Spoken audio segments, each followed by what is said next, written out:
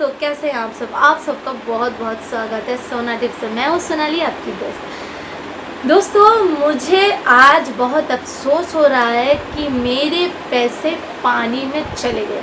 जी हाँ मेरे पैसे पानी में चले गए। कैसे चले गए? नहीं चले गए। कहाँ से मैंने लिया? शॉपिंग की। और किसने मुझे ठगा? तो ये सब जानने के लिए वीडियो को अंत तक ज़रूर देखते रहिए। मैं मुस्कुरा रही हूँ, पर मुझे बहुत दर्द हो रहा है अंदर ही अंदर, क्योंकि मैंने जो सोच के लिया था, वो सामान वैसा निकला ही नहीं और इतने पैसे भी लग गए। तो चलिए देख लेते हैं माजरा के दोस्तों, मैंने जो चीज़ ऑनलाइन शॉप से ख़रीदी है, लेकिन एक बात मैं मेंशन करना चाहूँगी कि मुझे ये इंस्टाग्राम के एक स्टोर से मिला है और मैंने इस इंस्टाग्राम के एक स्टोर का पिक्चर देखा था, एक ड्रेस का, जिसको देख के मुझे बहुत अच्छा लगा था कि मुझे लगा था कि मैं ये लेना चाहती हूँ तो मैंने इसको ऑर्डर किया। उन लोगों से पूछा मटेरियल के बारे में, उन लोगों ने मुझे गलत बताया था, झूठ बताया था। तो चलिए वो पिक्चर पहले देख लेते हैं कि वो कौन सी पिक्चर थी जो कि मैंने जिसे देख के मैंने ड्रेस को ऑर्डर किया था। तो वो पिक्चर है ये ओके तो आपने ये देख लिया, कितना खूबसूरत दिखता है। और मैंने इसके बारे में जब पूछा तो कि मटेरियल क्या है सर तो उन्होंने मुझे बताया कि ये वेलवेट का है। मैंने बोला, ओके। तो उससे पूछा था कि क्या ये जो प्रोडक्ट है वो मतलब स्टिच करके मुझे मिलेगा या अनस्टिच मिलने वाला है? तो उन्होंने बोला, नहीं, ये एक ड्रेस मटेरियल है, आपको स्टिच करवानी होगी। तो मुझे लगा कि इतनी जल्दी यहाँ पे कहाँ पे मैं स्टिच कराऊँ? और इतना अच्छा मतलब जो जो पीस लग रहा था सलवार पीस जो लग रहा था, वो इतना अच्छा है। मटेरियल तो मैं क्यों यहाँ पे अगर कोई बर्बाद कर देगा तो इसी डर से मैंने सोचा कि मैं वहीं पे पूछ लेती हूँ कि उन लोगों के पास स्टिचिंग का कोई फैसिलिटी मौजूद मौजूद है या नहीं? तो मैंने पूछा उन लोगों से कि क्या आप वहाँ से स्टिचिंग करके मुझे भेज सकते हो? अगर मैं अपने सारा मेज़रमेंट आपको दे दूँ, पूरे साइज़ चार्ट दे दूँ तो तो उन लोगों ने बताया कि हाँ आप दे दे दीजिए, हमारे यहाँ पे जो भी स्टिचिंग की अच्छी खासी बंदोबस्त है। तो मैंने पूछा कि कितना फ़ीस है आप लोगों का वहाँ पे? तो उन्होंने बोला, वन थाउज़ेंड। एक एक हज़ार। ठीक है, मुझे लगा ठीक है, चलो जो इतना महँगा मैं मैं, मेरी जो मटेरियल है ड्रेस मटेरियल है, वो इतना अच्छा है तो उसको अच्छे से सिलना भी बहुत ज़रूरी है, क्योंकि वो अच्छा रखे अच्छा दिखे इसके लिए। तो मैंने उनसे पूछा कि ठीक है, मुझे कब तक मिल जाएगा? उन्होंने बोला छः से सात दिन मैक्सिमम लगेगा। तो ठीक है, मैं इंतज़ार करती रही कि मुझे कब मेरा ड्रेस मटेरियल रिसीव होगा। तो वो मुझे रिसीव हो चुका है और उसका वो इस टाइप के कुछ पैकेट में रिसीव हुआ है। ये चेन लगाया हुआ है। यहाँ पे चेन दिया गया है। ठीक है पैकेट जो भी है जो था वो है। पैकेट से मुझे कोई लेना देना है नहीं। पैकेट नहीं पहनने वाली ऑब्वियसली पैकेट नहीं पहनने वाली तो अब जो मुझे मटेरियल रिसीव हुआ तो वो इतना गंदा है, इतना गंदा है। मतलब हाथी के दांत दिखाने के कुछ और और खाने के कुछ और। बिल्कुल ये मुहावरा इस पर फिट बैठता है, ठीक है? तो अब आप मैं आपको दिखाती हूँ उन लोगों का वेलवेट जो है वो किस टाइप का ये देखिए, ये है जॉर्जेट प्योर जॉर्जेट कोई वेलवेट टच भी नहीं किया गया यहाँ पर देखने में खूबसूरत है बट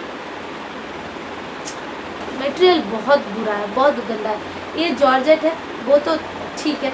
अब क्या हुआ? यहाँ पर जो है, मैं इसको पहनने गई तो मतलब मैं इसमें मैं इसमें घुस ही नहीं पा रही मतलब हट गया ये। देखिए, हट के क्या हालत हो गई है? ये देखिए, ये हो गया फटने के बाद। ये इतना अच्छे से फिटिंग किया है उन लोगों ने। एक हज़ार पैसे, एक हज़ार रुपया लिया। मुझसे वन थाउज़ेंड रुपीज़ भी लिया और इतने अच्छे से सिला कि मैं इसके अंदर फिट ही नहीं आ पा रही हूँ। उस, मैंने अपना सारा साइज़ मेज़रमेंट दे दिया था उन लोगों को। उसके बावजूद भी इन लोगों ने इस तरीके से सिला। तो कितना गंदा टाइप का सिला है। बाकी जो हैंड वर्क है, वो सब तो ठीक ठाक है एम्ब्रॉयडरी ठीक ही है, कोई गल, कुछ चीज़ नहीं है। बट देखिए, ये जो कपड़ा है, इसमें प्लेन कपड़ा है, उसके ऊपर ये लेस लगाया हुआ है। यहाँ पर भी वेलवेट का कोई भी टच नहीं है। जस्ट इसको और कोई मतलब एक फिनिश जो होती है, वो कोई फिनिशिंग है ही नहीं इसके अंदर। इसका जो सिलाई का ढंग है ना, कई जहाँ तहाँ से मतलब धागा निकल कर, निकल रहा है, आपको पता नहीं दिख रहा होगा कि नहीं देखिए, देख सकते हैं आप कैसे धागा निकल रहा है जहाँ तहाँ से? मतलब कोई फिनिशिंग कोई फिनिश नहीं है, कुछ नहीं है, इसका प्राइस कितना लिया था पता आपको? साढ़े तीन हज़ार। बस इसका। और ऊपर से एक हज़ार एक्स्ट्रा लिया है। मतलब साढ़े चार हज़ार का चूना लगाने की कोशिश की गई है पूरी तरीके से। तो देखिए अब अब जो आ, मेरे सूट की इसका हालत है वो देखिए। जो मेरा सूट का हालत है वो देखिए। देखिए साढ़े तीन हज़ार का ये ऐसे धागा फट गया। ठीक है, अब मुझे इसको फिर से दर्जी को देना पड़ेगा। जिस चीज़ का डर था वही हुआ है मेरे साथ। और अगर आपको यकीन नहीं हो रहा हो कि उन लोगों ने झूठ कहा था तो मैं व्हाट्सएप का स्क्रीनशॉट है, मैं यहाँ पर दे दूँगी। आप लोग देख लेना कि हाँ उसके बाद ये यहाँ तक है। और यहाँ पर ये अंदर ये कपड़ा दिया गया है। यहाँ पर भी स्टिचिंग कुछ खास अच्छी नहीं है। मुझे स्टिच बहुत गंदा लगा, बहुत ही गंदा लगा। ना कपड़ा अच्छा ना स्टिचिंग अच्छी मतलब कुछ भी अच्छी नहीं है। ये हो गया इसका। मतलब अंदर से भी स्टिचिंग बहुत ख़राब है। ऐसे ही खोल मतलब ऐसा आप खींचोगे ना, देखिए कपड़ा भी कितना कितना मटेरियल कितना गंदा है। बहुत बहुत चीप क्वालिटी है इसका। तो ये तो ऊपर का पार्ट हो गया। अब जो नीचे का था, वो ब्रोकेड कपड़े का जैसा दिखता है बट ये उसी प्रिंट में है। इसकी क्वालिटी एकदम घटिया है। इसकी भी क्वालिटी एकदम घटिया है, ठीक है? और इसको पहनने गई मैं। अब इसकी बात सुन लीजिए। इसको पहनने गई तो यहाँ तक पैर आया, उसके बाद नहीं आया। एक में गलती होता है, ठीक है? मान लिया कि हाँ आप ऊपर का नहीं कर पाए। आपको कोई भी प्रॉब्लम हो गया होगा, कुछ गलती की वजह से आपने इसको ठीक नहीं किया। लेकिन इसमें इसमें भी गलत। मतलब पैर यहाँ तक आया, उसके बाद मेरे पैर घुसा ही नहीं। तो मैंने इसको खोला। तो खोलने के बाद कि मुझे इसको सिलाई खोलनी है तो मैंने सिलाई इसको खोल दिया। खोलने के बाद इसको दर्जी को दे दूँगी दोबारा सिलाई करने के लिए। तो जब मैंने खोला तो देखिए, इसके अंदर अच्छे से सिलाई भी मतलब एक सिलाई है, उसके बाद जो फाइनल यहाँ पर होता है ना, यहाँ पे जो लॉक टाइप का किया जाता है सिलाई करके, ये चीज़ देखिए, इसका सिलाई आप देखिए, कितना गंदा है, देखिए मतलब ऐसे छुओगे तो आपका सब निकल जाएगा, कपड़ा एक खोल के आ जाएगा, इतना घटिया तरीके से इसको सिला गया है, और कपड़ा भी उतना ही घटिया है दोस्तों तो और इसका जो असली चीज़ है वो है इन लोग का जो स्टोर का नाम है, वो है Indo western hashtag Indo western आप टाइप करो इंस्टाग्राम पे आपको मिल जाएगा.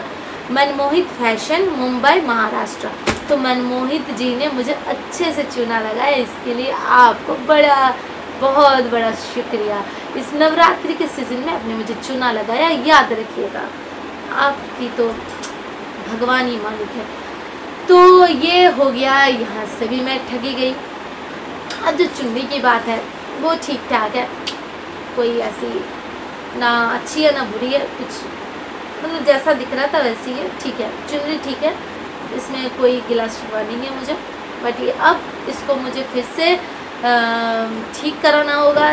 टेलर से दे के दर्जी मास्टर के सामने बैठ के मुझे इसको ठीक कराना होगा। क्योंकि क्योंकि पता नहीं इसके बाद इसके साथ क्या हो जाए। तो इसीलिए मैं अब रिस्क नहीं लेने वाली हूँ और मैं इसको लेकर खुद जाने वाली हूँ और अब सिलाई करवाने वाली हूँ, ठीक से स्टिचिंग कराने वाली हूँ। उसके बाद आपको पहना के ज़रूर दिखाऊँगी कि ये कैसा बैठता है। बट हाँ इतना, ये जितना भी गंदा है, जो भी है मटेरियल जो भी है, लेकिन ये मैंने कहा था हाथी के दांत देखने के अलग और खाने के अलग। तो ये पहनने के बाद बहुत अच्छा लग रहा है। मटेरियल कुछ भी हो, जो भी हो। लेकिन ये आप अगर मतलब आप खुद कंफर्टेबल फील नहीं करने वाले हो इसको पहनने के बाद बट आपको दूर से देख कर लगेगा कि वाओ क्या पहन लिया है। तो ये इसका लुक जो है लुक बहुत अच्छा है, लेकिन मटेरियल घटिया है। इसकी सिलाई जो है, इसकी स्टिचिंग जो है, वो भी घटिया है। मतलब प्रोडक्ट के हिसाब से अगर लुक को छोड़ कर बाकी जो भी चीज़ है वो घटिया है, घटिया घटिया। है और मुझे धोखा मिला है इंस्टाग्राम स्टोर से। तो दोबारा कुछ भी ख़रीदने से पहले ये वीडियो ज़रूर देख लेना। इस स्टोर से ख़रीदने से पहले ये वीडियो ज़रूर देख लेना। तो मैंने उन लोगों को फ़ोन किया था दोस्तों। कि आपने साढ़े तीन हज़ार तो मेरे ले लिए, क्या मैं इसको वापस कर सकती हूँ? उन लोगों ने बोला, नहीं, वापस कर सकते हो, क्योंकि मैंने इसको स्टिचिंग भी करवा लिया था और शायद वापस करने का कोई रूल भी नहीं होगा उन लोगों के पास।